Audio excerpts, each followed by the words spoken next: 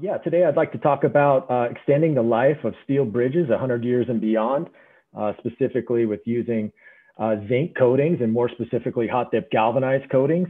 Um, I had a little introduction slide here, but I think I'll skip over it. Uh, Dan has covered this uh, well throughout the beginning of the presentation.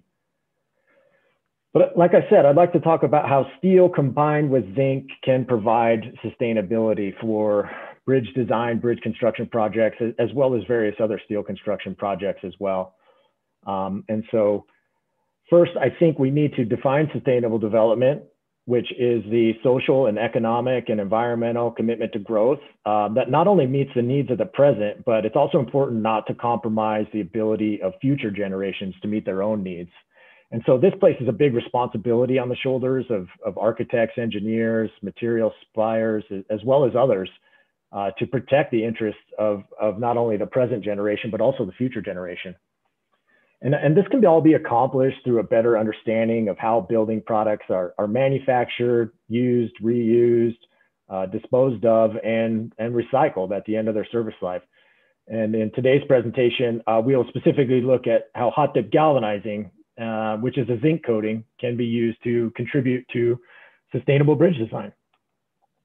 Excuse me. So let's take a look at sustaining steel with zinc or hot dip galvanizing and the reasons why. There are three primary tenets of hot dip galvanized steel sustainability. The first is that hot dip galvanizing is uh, the components of hot dip galvanizing are made from, excuse me, natural, abundant occurring elements such as steel and zinc. And both of these materials are infinitely recyclable as, uh, as we learned earlier, without a loss of properties, meaning that they can be used and recycled and, and reused in future projects.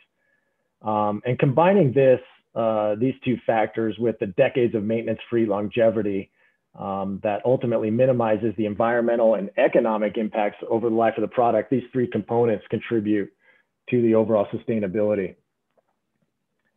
As uh, was mentioned earlier, again, steel and zinc are both 100% recyclable and they can be multi-cycled without the loss of any physical or chemical properties. And so 90% of structural steel does come from recycled sources, as well as 30% of the world's zinc supply also comes from recycled sources.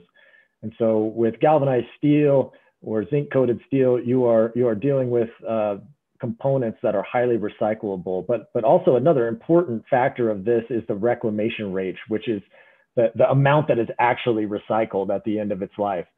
And so steel is the most recycled material in the world where virtually 100% is reclaimed and reused for other products.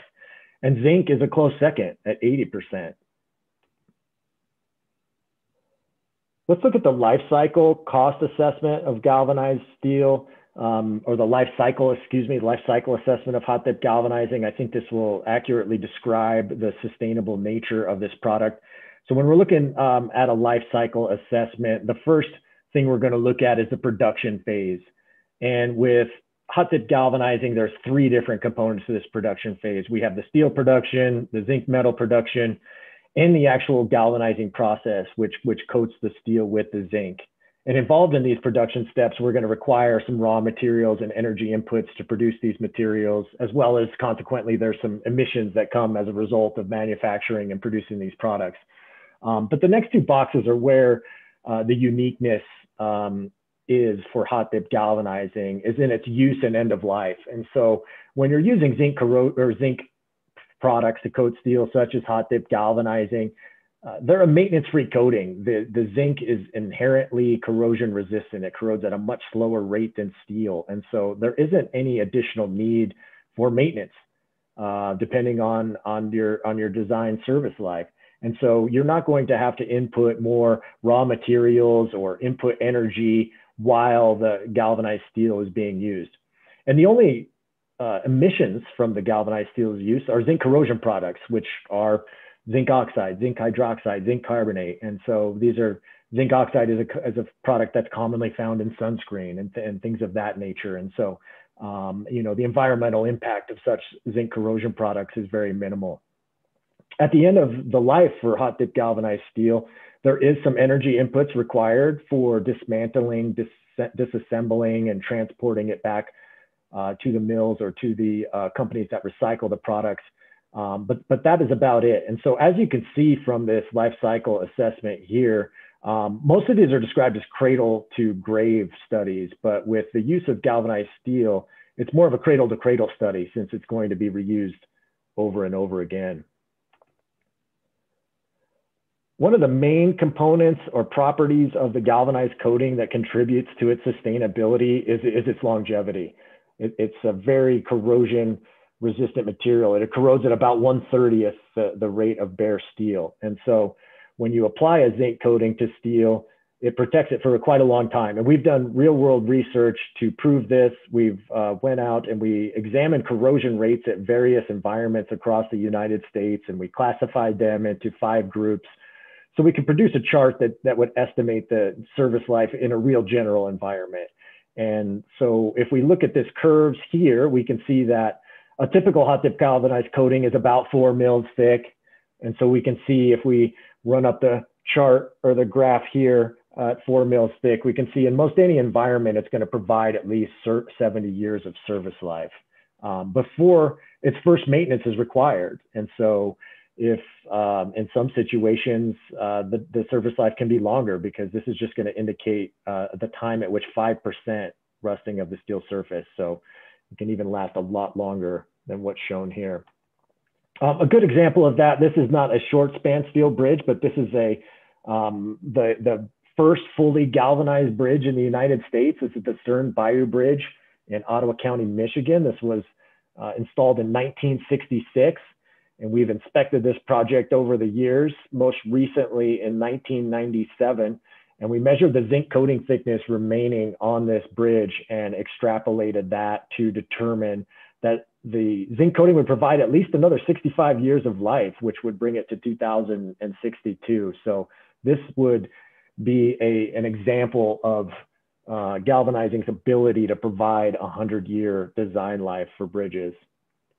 I uh, input the YouTube link on this. We built a, a video, uh, a study that you can watch at a later time. These slides are going to be distributed to everybody, so you can uh, use that link to, to follow up and learn some more about this particular bridge. Other aspects of the galvanized coating that make it sustainable is not only the longevity, but but the galvanized coating oftentimes or can exceed the design life. And so at the end of its useful life, galvanized steel can can be reused in a couple different ways.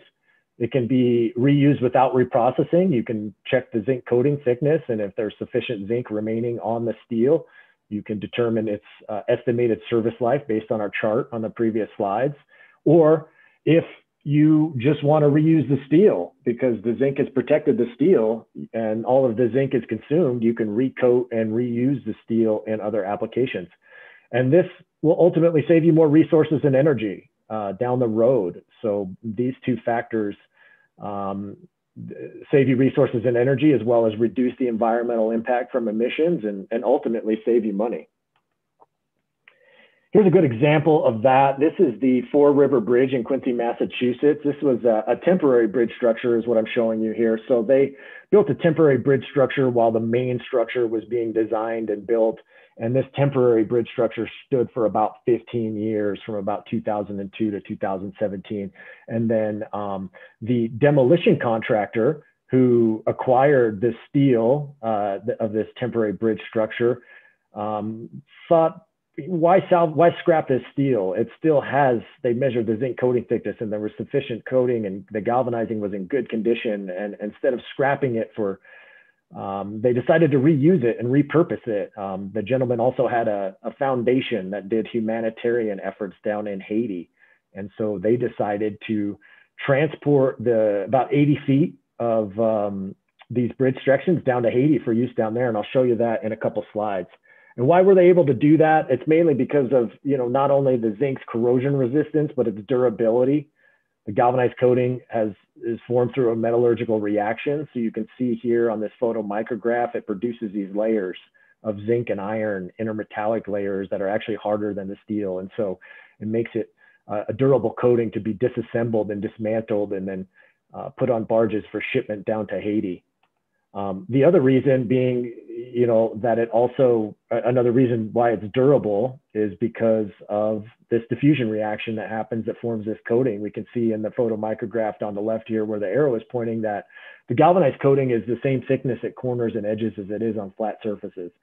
And then it also can coat the interior of hollow and tubular structures as well um, as coat threads. And so this can make it for a very durable coating where they ultimately, here is the Fore River Bridge transported down to Haiti, and now it has become the Riviere Cochon Gras Bridge, which um, provides access to areas of Haiti that were inaccessible at certain times of the year. You can see that's over a riverbed there. That riverbed would flood um, substantially at various times throughout the year and, and make this impassable and would cause deaths from drowning. And so uh, the, the country of Haiti really had a need for a bridge, and this uh, galvanized bridge structure was donated down there. We we also again just completed a, a video series on this bridge. Uh, I put the YouTube link at the top of the slide here. I encourage everyone to visit that video to learn a little bit more about this very unique uh, and cool humanitarian effort. In addition to repurposing galvanized steel for use in other bridges. Uh, galvanized steel also has the ability to be be, be regalvanized, and the best example of that uh, would be with guardrail. And so this particular instance is where this Michigan guardrail was installed um, in the 1960s, but due to traffic traffic or damage from traffic and um, uh, specifications and codes were updated, and so they needed to update and uh, reuse this steel, they needed to update this guardrail. And so what they did was instead of purchasing new steel, um, the, a lot of the galvanized coating, um, you know, still remained. So they, they saw how well it performed in the environment, but they needed to upgrade it. So what they did is they took this down and they regalvanized it. They brought it up to codes and the current standards for today's bridge rail. And they ultimately put it back in service, which saved them um, from purchasing new steel, uh, saved them a bunch of money. And finally, today I'd like to talk a little bit about the economic advantages of galvanized steel. Um, and, and it's, I think it's best described using um, our life cycle cost calculator. We have a tool on our website. You can visit, uh, it's a cost calculator tool that compares commonly used coating systems. And we use, we gather data from paint companies, um, from, from KTA-Tator and NACE, and we gather data from galvanizers and um, other other zinc coaters like metallizers, and we we threw that into our tool to allow people to analyze coatings on particular applications um, in, in, both the initial and life cycle cost basis. And so I just did a real general example. Uh, I encourage everyone to try this out themselves. Uh, you can see some case study parameters on the right here, but I'm going to cruise through that and just show you the end result here. Um, for this particular project where we were um, assuming a 75 year design life, we looked at all the initial costs of these coating systems, the hot dip galvanizing, also uh, some common two and three coat paint systems. Uh, we also threw in a duplex coating, which is uh, a two coat paint system or, or any paint system or powder coating over galvanizing. And then also another type of zinc coating metallizing, which is um, being used more and more commonly for bridge structures as well. And took a look at all of those on an initial cost basis. And as you can see, um, even on that initial cost, galvanizing is, is, is pretty competitive and, and ultimately the lowest cost in this particular example. But where it really shines is in the life cycle cost analysis. So if we extrapolate this over the 70 year uh, life of the structure and include maintenance repaints, full repaints uh, that these two coat and three coat paint systems are using, you know, you're constantly uh, inputting more dollars and more resources into these coatings to maintain them over their design life. And ultimately, it's just going to increase the cost over time. And so, as we can see here, uh, over the 75 year life, it's adjusted for inflation as well. You can see that hot dip galvanizing it, it becomes the clear cut winner in this particular application. And it's also important to note that even the duplex system, which was initially the second highest or second most expensive on an initial cost basis, now becomes the, the second most economical on a life cycle cost basis. And then also metallizing um, now becomes really competitive with, with the other coating systems as well, because metallizing is a, is a zinc, a thermally sprayed zinc coating. Um, that's going to have similar performance characteristics to galvanizing. And so I think this really drives a point home of, of, of sustainability where you can save a lot of uh, money and resources and time and energy over the years. Uh, so in closing, uh, the sustainable development of hot dip galvanizing, uh, social, economic, and environmental factors are all important to future quality of life. Zinc and steel are both naturally occurring, abundantly, infinitely renewable materials.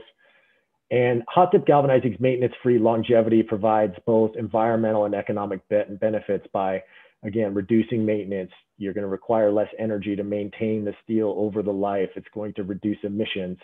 And then the big factor that everyone's always concerned about, it's going to lower the cost over time and it's going to free up capital for new projects.